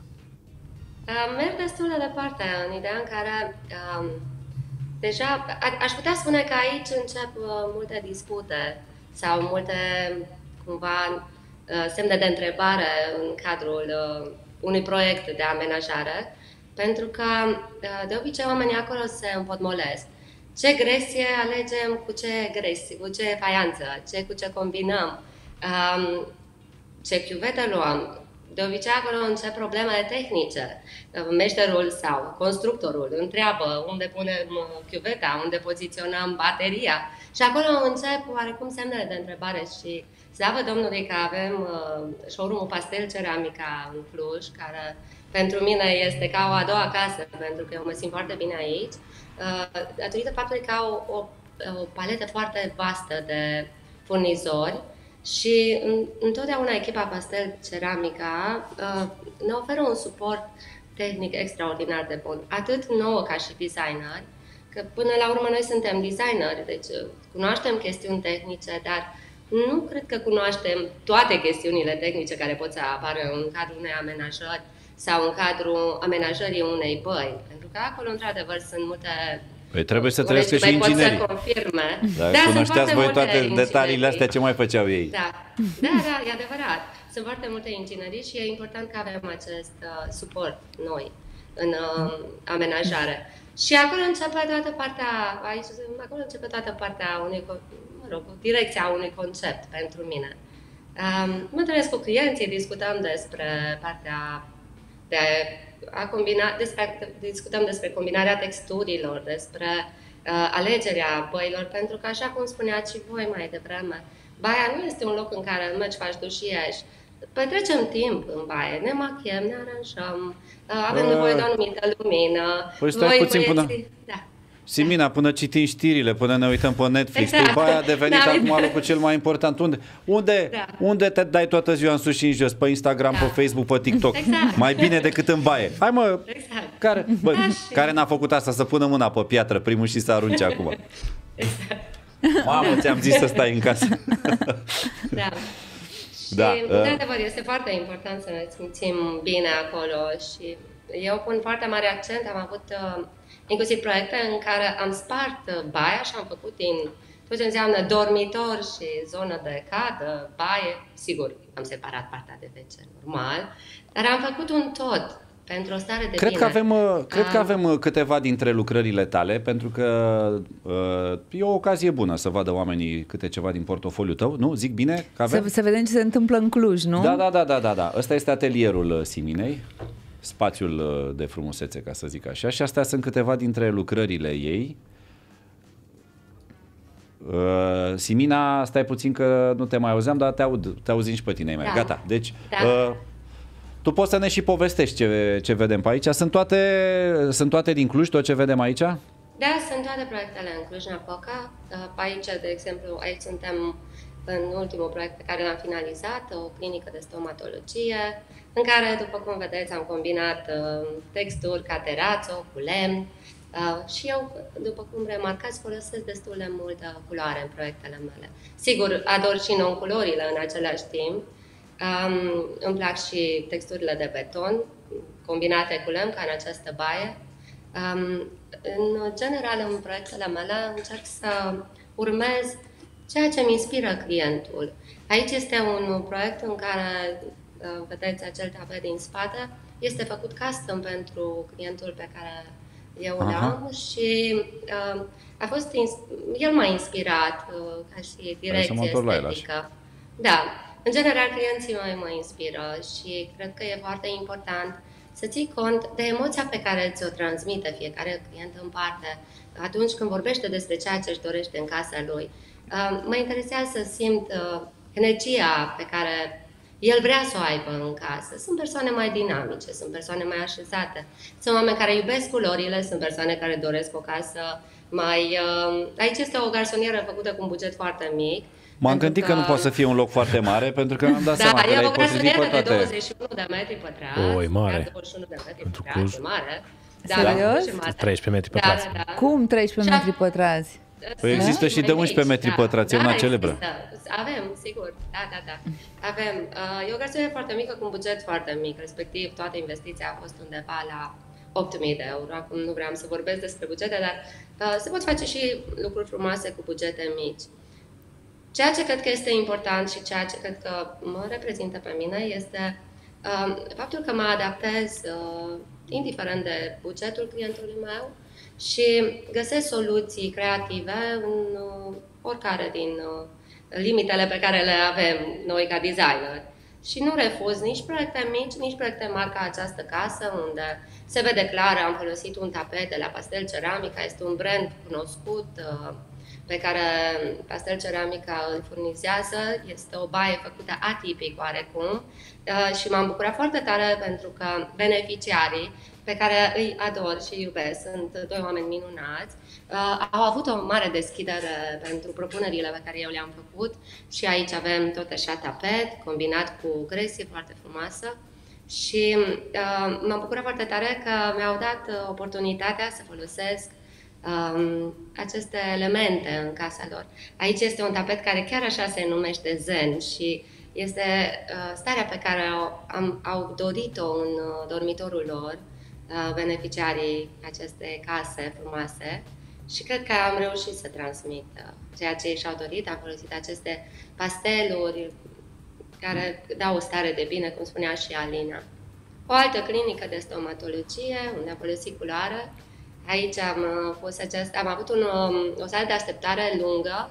Și cine a făcut desenele astea din îngustă. spate? Sunt făcute de un artist uh, și povestea acestui proiect este tot emoțională. Um, stomatologul, doctorul stomatolog Mihail Iacicov, care are acest cabinet, a primit de la tatăl său când era mic, Da? uh, o, da, a primit o caricatură. Uh, o să o vedeți probabil într-o altă imagine, tot uh, din acest cabinet. Exact acea caricatură pe care o vedeți în uh, biroul lui. Am și pus-o Ok. acolo. Ca și... Asta din spatele și de biroului, acolo- din dreapta. da, da, a primit-o când avea 5 ani, o adusese tatălui din Rusia, o caricatură foarte mică, m, format de A4 uh, și uh, a fost foarte mișto pentru că eu când am făcut acest uh, proiect, am propus ce zici dacă am face caricaturi în sala de așteptare, să nu ne mai luăm atât de tare în serios, cu Ah, și a cabinetele ajuns de asta de aici. stomatologie, să nu fie atât de să nu mai fie atât de serioase și să creeze oarecum o relaxare când intri acolo, să nu te mai simți sânjenit și să nu-ți mai fie frică de stomatolog. Și de acolo am ales și această um, gresie dinamică pe care o vedeți, produs pastel ceramica, este și acesta. Și am uh, propus aceste caricaturi. Și Mihail atunci mi-a spus, Mina, mi se face piele de găină. Și am spus, de ce? Stai să-ți arăt ce am primit de la tatăl meu când am, aveam 5 ani. Tatălui, de asemenea, fusese și el doctor. Uh, Oarecum sunt uh, familie de stomatologi din generații, de doctori din generații, în generații de străbunici. Și atunci așa a început acea poveste frumoasă cu personalizarea spațiului. Aici am tot așa un buget uh, mai redus am avut pentru acest apartament. Uh, este un proiect făcut tot cu pastel ceramica. Am spus că este oarecum a doua mea casă deja aici. Uh, că de altfel aici mă și aflu acum. A, chiar în casa asta ești? Din, din ea ne vorbești? Nu, nu ești, nu, ești chiar la pastel ceramica, da. A, ești la showroom, da, da, da. Am vrut să zic. Paranteză, lucram la un proiect și am zis, haide până începe podcastul, facem rapid un setup și rămân aici și mă mai duc acasă la biroul meu unde îmi propusesem să fiu. Și așa, mai bine că vorbim din locul care ne susține oarecum în această direcție. Așa este. Um, da, și este important și sunt foarte fericită că au pastel de ceramica și voi dați glas, oarecum nouă, celor care activăm în domeniul esteticii. Tot uh, proiecte în care folosesc texturi, lemn, vedeți că îmi plac riflajele foarte mult și în majoritatea caselor în care am posibilitatea pun șemine, ador șeminele și cred că ne aduc o stare de bine, de relaxare de detenționare și oarecum, vedeți, și lemn folosesc, spuneați și vă, vă place lemnul și păi eu suntem tot. fani aici. Da. da, suntem fani și încerc să-l integrez cât mai mult în, uh, în proiectele mele. Uite ce, ce perete un... interesant. Poți să te întorci da. un pic, Andy? E un perete interesant acolo în spatele canapelei și vreau să întreb din ce ai făcut. Da. Este un tapet 3D pe care îl mm. fac cu uh, un colaborator foarte apropiat și drag mie. Uh, și mm, să mă bucur că am posibilitatea să creez aceste... Și este luminat, că asta creează efectul pe da, care îl îi dă profunzime. Este luminat, îi dă profunzime și efectul 3D este dat, sigur, de Adina Horodincă, care este un grafician extraordinar și știe să pună în practică toate ideile mele năstrușnice cu privire la asta. Asta este un proiect în lucru. Aici am folosit tot așa un tapet de la Pastel Ceramica, care se pretează extraordinar de bine pe voi. Și ați văzut, am creat acea zonă pentru relaxare, zona pentru zona în care, zona unde am pus scada este, așa, pentru mine este o zonă de relaxare. Trebuie da, să da, ai da. un perete care să te lase să meditezi, care să te invite să te relaxezi. Folosesc culori în proiectele mele. Aici avem tot așa produse de la Pastel Ceramica, Casa Concret. Le-am mai folosit într-un proiect la început, într-un alt uh, context. Tapet, de asemenea, ușile Invisible Doors, pentru care eu sunt recunoscătoare că le-am descoperit prin pastel ceramica, le-am descoperit la sugestia lui Vlad și a lui Marius, uh, nu știam de ele la momentul respectiv, iar acum le folosesc în toate proiectele, că mă dau posibilitatea să uh, creez un perete întreg, să nu mai am atâtea, cumva, să nu mai fie atâtea, atâtea zone obturate. E un proiect tot în lucru și acesta, aici vedeți randă. La început ați văzut uh, poze din proiecte finalizate. Vedeți și aici este tot un tapet uh, propus și băile sunt uh, minunate. Am uh, pregătit câteva băi pentru subiecte de discuții cu voi, dacă, dacă vă interesează subiectul, ca să zic așa. Păi pentru cu băile am cam... Dat, da, ne-am, e, e limpede. Seama... Acum avem cu toții să da. fugim acasă să luăm o boxă de ea, să o punem în colțul băii. Da. Îți dai seama. Bine, avea cineva, într-adevăr, e foarte adevărat că e o chestiune dureroasă în România, în sensul în care, mă rog, nu știu dacă ăsta e procentul real, 40% din populație locuiește la țară și nu deține baie. Uh, nu-mi dau seama dacă chiar ăsta este proces, proiectul. Pare cam mare. Și mie mi se pare puțin cam mare. În plus, nici la țară nu prea mai e cum era când eram noi copii și mergeam la țară. Adică eu am văzut la țară acum niște case de să învârt după soare cumva. Mm. Și băile, mă rog, au băi.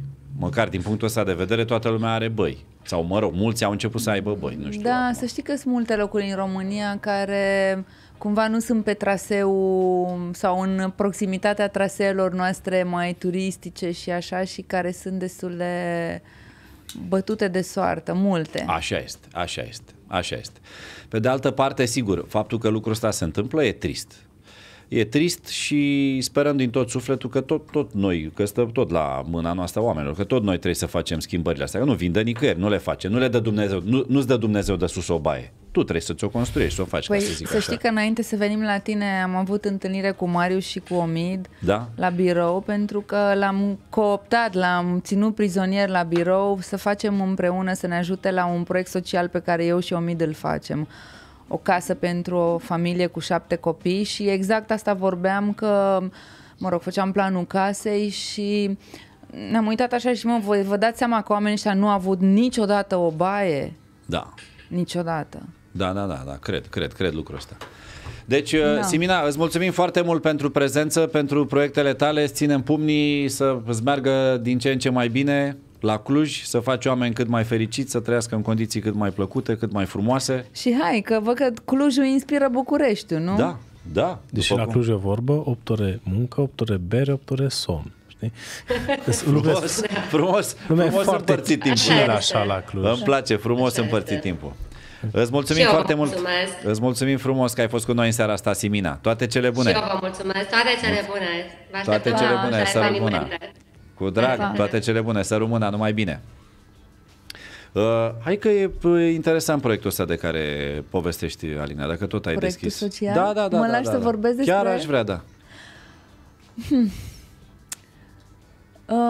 pe scurt. Știi de ce? Pentru că, sigur, noi aici uh, discutăm despre design interior și arătăm niște lucruri foarte frumoase și vorbim despre, dacă vrei, cel mai în ridicat nivel în ceea ce privește designul interior, confortul și așa mai departe. E posibil să fie frustrant pentru unii dintre cei care ne privesc, mai ales în condițiile în care nu își permit nimic din toate lucrurile astea. Așa e. Dar noi nu o facem ca să-i uh, întristăm pe ei sau ca să spunem, uite, domne, noi ne-am permite, dar voi nu vă permiteți. Doamne ferește, sub nicio formă. E vorba că în viață, ca să poți ajunge la un nivel, înainte de toate, tu trebuie să știi că el există. Ca să poți să visezi Da. la acel nivel. Dacă începi să visezi cu tărie, mulți dintre noi vor avea surpriza să vadă că apar și idei. Pentru că întotdeauna generațiile evoluează sau oamenii evoluează de la generație la generație și cu toții, de când ne naștem și până ne ducem pe lumea cealaltă, încercăm să ne depășim, noi pe noi înșine, noi părinții noștri, mai departe copiii noștri pe noi. Deci mai devreme sau mai târziu e posibil ca ceea ce astăzi să fie o frustrare, mâine să fie o realizare. Sau evoluție. Da, da. Um, mulțumesc mult că ai spus asta. Vreau să mai spun un mic lucru că de exemplu, experiența pe care eu am avut-o în anii ăștia de cu visuri la cheie și mergând în foarte multe case sărace și am intrat în interioare de case înainte să le refacem noi și m-am simțit bine. Și am stat și m-am gândit ce m-a făcut să mă simt bine în acel interior în care era foarte frig, în care erau câteva obiecte și mi-am dat seama că felul în care pică lumina naturală, ce văd pe fereastră, căldura oamenilor și astea sunt lucruri care nu costă. Știi? Sunt lucruri care ne sunt la îndemână și eu asta îmi doresc foarte mult ca noi, în formula asta sau în orice formulă vom fi, să reușim să deschidem ochii oamenilor acolo unde sunt ei, să vadă frumosul din jurul lor. Pentru că poți chiar și cu puțin bani, nu zic cu zero bani, dar cu puțin bani, să-ți faci o casă frumoasă. Acum îți spun în două vorbe despre proiectul nostru social care um, îl fac împreună cu Omid și acum, uite, l-am cooptat și pe Marius. Foarte drăguț. Declarație Noi, uh, publică, știi? da. Zgoles. Nu mai ai cum să dai Nu mai Nu dau mai înapoi, gata, e... Eu, uh, eu și Omid, uh, de fapt Omid uh, este motorul acestui, uh, acestui proiect. Uh, Ne-am hotărât ca uh, să facem constant um, um, case pentru, adică constant în sensul că um, poate una pe an, cât uh, ne-a ajutat Dumnezeu, să reușim să facem case pentru um, oameni care au nevoie de schimbare în viața lor. Și Um, prima, primul caz social, să spun, uh, este adus uh, chiar de un băiat uh, care a fost la noi la curs, la Inside Academy, la 15 ani și băiatul ăsta, care acum are 16 ani, s-a ținut de mine și de Omid să mergem la familia asta și să-i ajutăm. Da? Un băiat la 16 ani care putea fi cu nasul în telefon toată ziua sau cu, nu știu, cu prietenii la bere deja, care de fapt își dorește să ajute o familie și deja strânsese niște bani și în fine.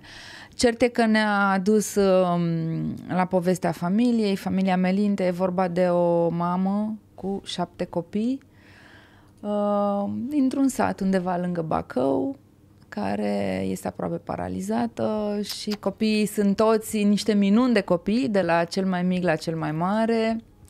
Și uh, ne-am hotărât că vrem să le facem casă și acum împreună cu Marius și cu alți câțiva voluntari de la Inside Academy uh, suntem la primul pas, adică am găsit un teren pe care vrem să-l achiziționăm uh, pentru ei. Pentru ei și le facem proiectul și casa.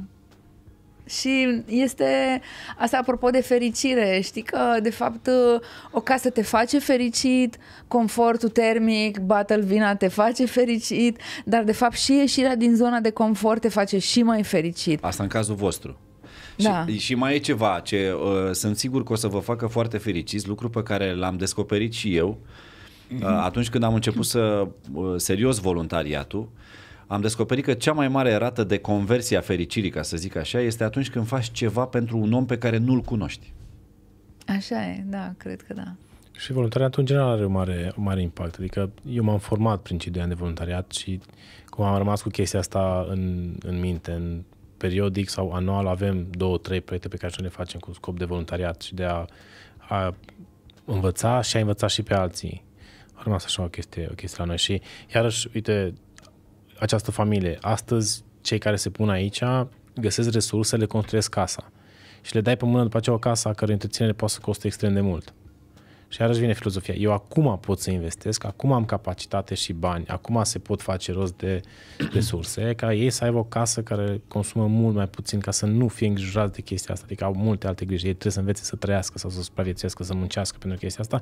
Nu să ai o casă care îți vin facturile, când în 5 ani de zile da, ți-ai plătit casa în de fapt, provocarea asta e și de asta cumva Marius e o resursă foarte valoroasă pentru noi, pentru că vrem să facem din această casă un exemplu de bună practică. Da, să cum poți să faci o casă, da, care să consume puțin, da? puțin cu bani puțin. Și să consume puțin după aia. Pentru că majoritatea oamenilor au această preconcepție e, și vorbesc de oamenii care ar putea să-și permită o casă pasivă și spun Oh, e prea mare bătaie de cap, nu, e prea multe. În cât timp recuperezi investiția? Nu, e prea, nu, nu. Asta apropo și de ecologie, pentru că de asta probabil ecologia este un subiect atât de nesexy, pentru că încă nu a ajuns să ne să ne respire greu în ceafă păi faptul nu, că... Nu ne-am, dat, nu ne-am lovit cu capul, da. că nu ne doare cum da. ar pe noi. Da, de fapt începem să ne lovim. Că uite criza economică care e generată acum de lipsa de resurse. Stai puțin, că la noi da. încă n-a ajuns, că știi încă. că la noi până la noi trebuie să ne doare, efectiv trebuie să ne, trebuie să dai cu capul de ceva să simți. Cât dai drumul la robinet și curge apă, ai pus mâna pe calorifer, e cald, mă rog, în cazurile în care e cald, pentru că... În București, cât am fost da, da. iarna asta. Eu cred că au mai fost și alte orașe în situații nefericite, dar în general, din păcate, da, mă rog, așa funcționăm noi oamenii. Da, nu, eu, eu te contrazic. Eu cred că avem și alt buton care e mai greu de accesat, dar dacă ne unim putem să-l accesăm, care se cheamă empatie și conștientizarea faptului că chiar suntem un sistem. Da. Așa cum casa de și ea respiră, transpiră, schimbă energii cu mediul, noi ca oameni nu, nu suntem, adică oricum avem conștientizarea faptului că împreună suntem un Așa sistem e. de oameni, dar și cu planeta și cu tot ce ne înconjoară. Da, da, corect, corect, corect. Uh, ce copaci cred... inspiră, expirăm, noi respirăm și viceversa. Și eu cred că e foarte valoros, Marius, uh, și din punctul ăsta de vedere și prezența lui în seara asta aici și sper să fie din ce în ce mai prezent. Și uh, eu sper că o să am ce să pun în descriere acolo la fiecare, pentru că sunt oameni care poate vă văd pentru prima oară acum și o să vrea să aibă, să ia legătura cu voi sub o formă sau alta, indiferent că vorbim de design interior sau de construcție, cum e cazul lui uh, Marius. Aici e clar că e, e o mină de explorat. Dar să știi că Marius e și, e și profesor, de fapt el are un rol destul de academic, așa, are și o școală. Am dat și eu drumul la o academie, momentan am spus Academia Șofrete, în care am, avem trei etape. Uh, mă rog, eu cum am cunoscut cu Alina, predând niște cursuri de case pasive pe care le-am inițiat și am ajuns să le predau tot din șantier sau din experiența proiectelor pe care le-am făcut. Am început, de exemplu, cu un program de asistență pentru beneficiari în care, pentru cei care vor să-și construiască casele și să fie propriilor manageri de proiect, pentru că, de fapt, când tu îți faci casa ta și bagi banii tăi și vorbim de până la sute de mii de euro pe care bagi în casă, Da. nu vrei să ai o casă cu probleme și tot procesul să fie, este foarte stresant și nu știi că vrei să te bucuri de casă. Și am văzut de foarte multe ori în experiențe pe care am avut, că am fost implicat în peste 200 și ceva de proiecte și proiectare și execuție, stresul, nivelul de stres la care ajung oamenii și mai ales cuplurile și certurile și Cuplurile. cuplurile. E un, e un test foarte greu pentru un cuplu să-și facă o casă împreună. Absolut. Da. Și am, Absolut. am făcut acest program de asistență pentru, pen- pentru beneficiari în cadrul Academiei și o fete care a fost sold out într-o lună, adică s-a, a fost fully booked într-o lună și mai sunt încă 300 și ceva de oameni în stand-by și nu reușim să, să livrăm, în care uh, îi luăm pas cu pas prin toate etapele prin care trebuie să treacă ca să-și facă o casă uh, fără mucegai, fără stres, fără ulcer și cu banii pe care îi au, că au 60 de mii, 80 de mii, că au 300 de mii și timp de 12, 12 luni stăm alături de ei în fiecare săptămână prin toți pașii prin care trebuie să treacă, de la alegerea terenului, la alegerea arhitectului, realizarea proiectului de arhitectură, la alegerea meșterilor și așa mai departe, într-o echipă de, de mentori, pentru că am adunat în, în jurul meu o echipă foarte faină și foarte mare de mentori și e foarte faină energia, așa, sunt foarte, sunt foarte hype oamenii acolo, că vor să știe și sunt oameni care deja își dau seama, băi, mă reconvertesc în manager de, de, de proiect. Și sunt, vorbim de medici, de IT-ști foarte mulți, chiar și um, unul dintre colegi este polițist și zic, bă, ce fain, îmi fac casa mea, vreau să fac Tare. cap-coadă. Inițiez acum o platformă de cursuri online dedicate proiectanților, în care am început deja să uh, fac materiale video suplimentare de cele care le-am făcut pe YouTube, uh, mult mai specifice, mult mai tehnice, mult mai, mai uh, uh, cum spune, mai, mai profunde și etapa a treia, cea pe care, uh, care am început-o în ultimele luni să o, o conștientizez, e o academie de meșteri, o școală de formare profesională, fix ca să nu mai zici cine ți-a lucrat aici. Pe când vine un dulgher ca lumea și știi că ți-a lucrat acolo, să fii mândru de el, pentru că, uite, vorbim de avocați, vorbim de arhitecți, vorbim de medici, vorbim de ingineri, au toți stimă și prestanță. Da, inginer, uh, meșterul care stă pe șantier, stă în soare, în ploaie, în vânt, când te duci la el, te duci cu bă. Și te duci așa, bă, cine ești, bă, ce ai făcut aici? Nu să zici, bă, omul ăsta chiar are o stimă, chiar are o meserie care până de curând, până în, acum, nu știu, 30 de ani, oamenii de pe șantier care chiar știau chestii, că Sigur. mergeau pe școli profesionale. Și am dat drumul și la partea asta de a face o academie de construcții cu, cu și pentru meșteri, dar și pentru toți cei care sunt implicați în tot procesul de proiectare și de construire. Avem niște întrebări pentru tine. Uite, de exemplu, de costurile casei pasive, ce ne poate spune Marius? Întreabă M- mă gândeam când o să apară întrebarea asta. Uh, am făcut o serie de documentare pe canalul meu de YouTube, fix un playlist întreg cu câte costă casa, în care sunt șase materiale video. Este o casă pasivă făcută bucăți, bucăți, bucățele, trimisă incognito la ofertat, primite oferte de preț centralizate în Excel-uri, așa matematic adunate pe toate sistemele constructive și este dată la liber, e așa open source și acolo sunt prețurile reale. Adică mail a fost trimis așa incognito, bună ziua, suntem un cuplu care avem nevoie de această casă, pe contract, pe tot, ca să vezi costurile reale. Dar, așa, asta a fost acum 2 ani, anul ăsta a mai sărit prețurile în aer. Realist vorbind, astăzi nu mai poți construi corect, cinstit, să ai o casă care să o lași moștenire Da. da. copiilor tăi, nu să vrea să o demoleze cum Da. da. ai plecat tu de acolo, nu ajunge sub 1400-1500 de euro metru pătrat util desfășurat la semi-finisat. O casă funcțională. Util, atenție. Util, util, util. da, Atenție, mulți util. vorbesc pe construit, dar până la urmă Da. pisica pe aici aleargă. Nu, nu, Da, tu plătești construitul. tu plătești construitul, te convertezi pe util, că așa poți să compar casa mea cu casa ta, cu casa... Așa este, corect, foarte corect. Mai e o întrebare care a venit undeva la începutul întâlnirii noastre de astăzi. Ce părere are Marius despre casele făcute din pământ bătut?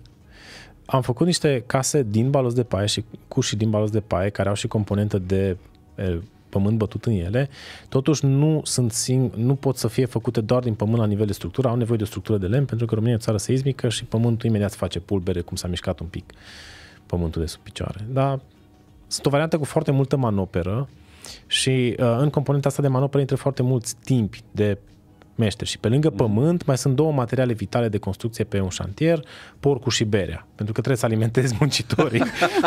Când bați pământ îți trebuie, tati, energie. Ai avut un moment de seriozitate, Andy. da, îmi place, mă, de ce? Îi simte exact Mai cât e sunt două. momentul. Bă, da, da, da, da. Și profit de veselia asta să mulțumesc încă o dată Pastel Ceramica pentru susținerea în episodul de astăzi.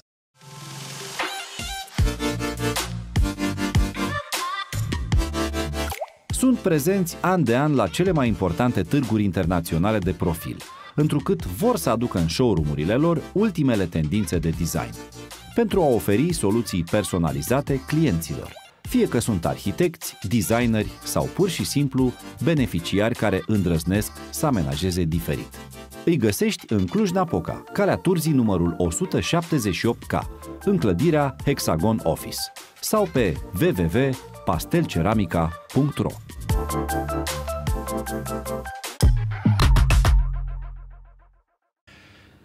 Și ne apropiem practic de finalul episodului 4 cu părere de rău. Mi-a făcut o mare plăcere, adică mare Mamă, când prezent. a trecut o oră jumate. Da, da. Și în principiu episodul ar fi trebuit să dureze o oră, dar Păi e ca, pe, ca în construcție și ți-ai depășit și bugetul de timp și bugetul de bani. Așa, așa intri în construcții. Așa, practic bine a venit în construcții, da. Da, sigur. Uh, Sper din tot sufletul să ne revedem, Marius. De fapt, îți spun sigur că o să ne mai întâlnim. Asta este fără discuție. Cu Alina în mod cert, pentru că mă Da. rog, suntem uh, abia la început cu DC Design. Uh, următorul episod cred că o să fie cu Omid, nu? Da, Așa. să vedem cu ce invitat vine Să Omid. vedem cu ce vine Emil. Tu ai venit astăzi, ai venit ce mai gata, ai închis pe masă, cum se zice, pe tablă, ca la Remi, pe vremuri, știi? Foarte, foarte bine. Uh, promit că mâine dimineață, mă rog, mâine, la o după o oră normală o să pun și linkuri ca să știți pe unde puteți să dați și de Alina și de Marius, pentru că sunt sigur că o să vreți să-i contactați. Uh, reamintesc, Marius are și un canal de YouTube, deci e ușor de găsit.